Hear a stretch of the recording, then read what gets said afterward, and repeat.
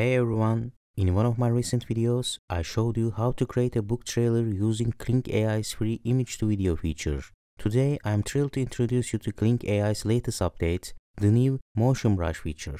This tool allows you to elevate your AI videos and market any product like a pro on social media. If you are selling books or products on Amazon, driving external traffic to your listings can give you a significant competitive edge. Many sellers waste tons of money on expensive Amazon ads and end up disappointed, especially with low margin products like KDP low content books. I know many of you have faced this challenge, but here is the secret. Drive external traffic to your listings and watch how those first sales unlock a wave of organic sales on Amazon.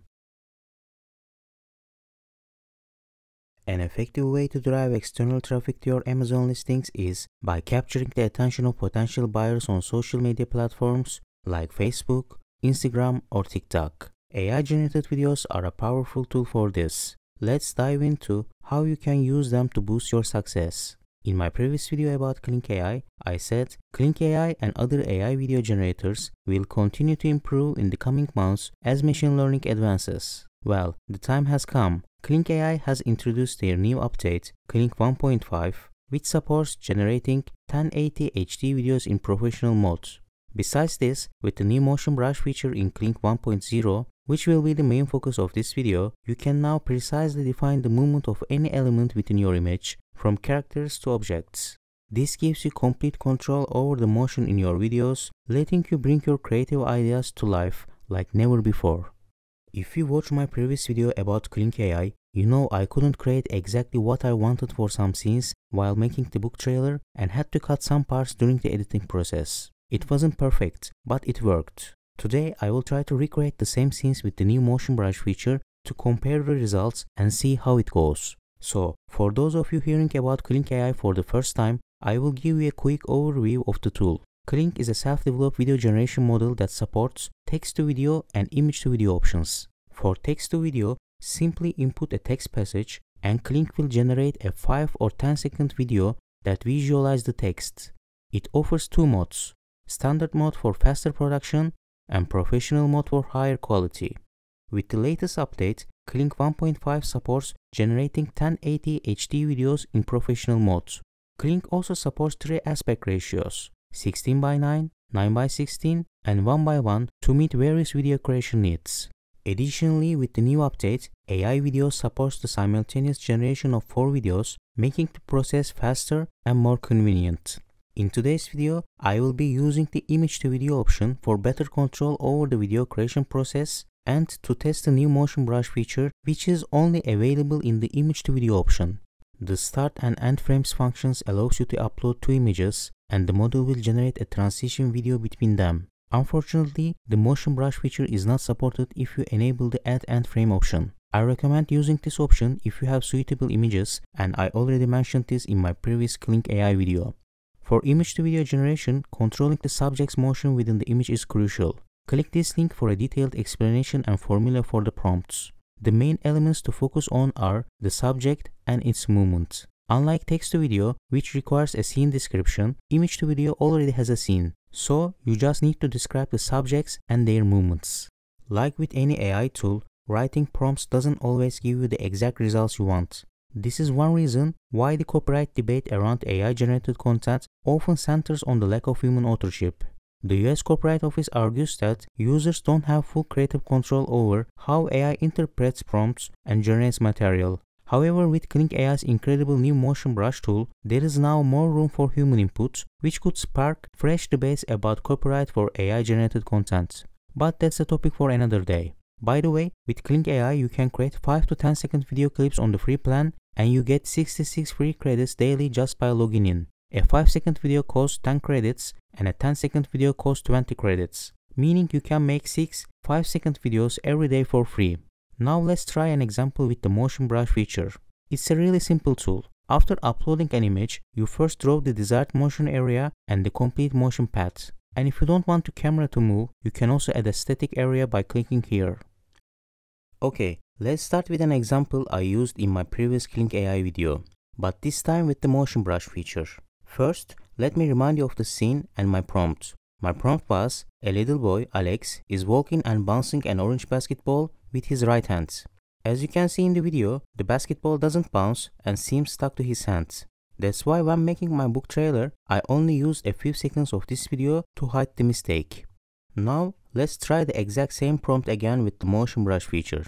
You can designate an area or element within the image using either manual brushing or automatic selection. For this example, I will use automatic selection. Once you have selected your object, you can add a motion trajectory by clicking track button, then simply drawing the motion path.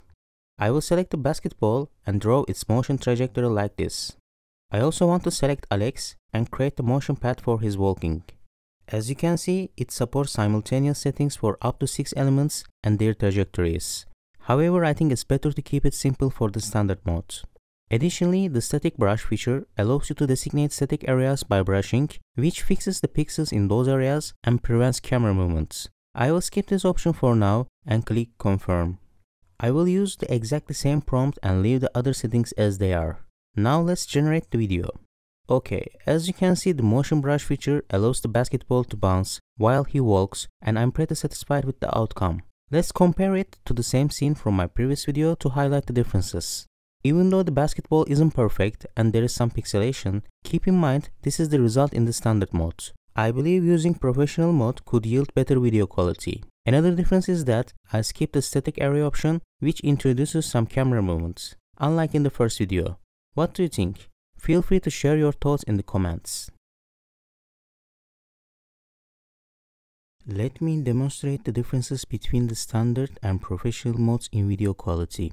The prompt is, a sailboat moves slowly on the sea, creating ripples. On the left you will see the standard mode and on the right the professional mode. Notice how the sails details are more distinct in the professional mode. Additionally, the waves and lighting on the sea appear more realistic in the professional mode. Let me also share some tips from the Motion Brush user guide on the Kling AI website. The first tip is, when using the Motion Brush feature, make sure your text prompt accurately matches the movement of the element or area. For example, if you want the cat to jump over a ball but your prompt is, a cat walks forward, the result will be different. Kling AI seems to interpret the ball as a solid object, so the cat stops at the ball and only the camera continues moving to complete the scene. However, if your intent is for the cat to jump over the ball and you use the prompt, a cat jumps over the ball in front of it, Kling AI will produce the desired results. I tested a similar prompt with a cat and here's what happened. My prompt was, a cat jumps over the book in front of it. Due to my mistake in Photoshop, I placed the book with the wrong perspective, so it appeared to be floating slightly. As a result, Kling AI interpreted the book as hovering causing the cat to jump onto it first. This example shows how important it is to create reference images that are as realistic as possible to achieve better results.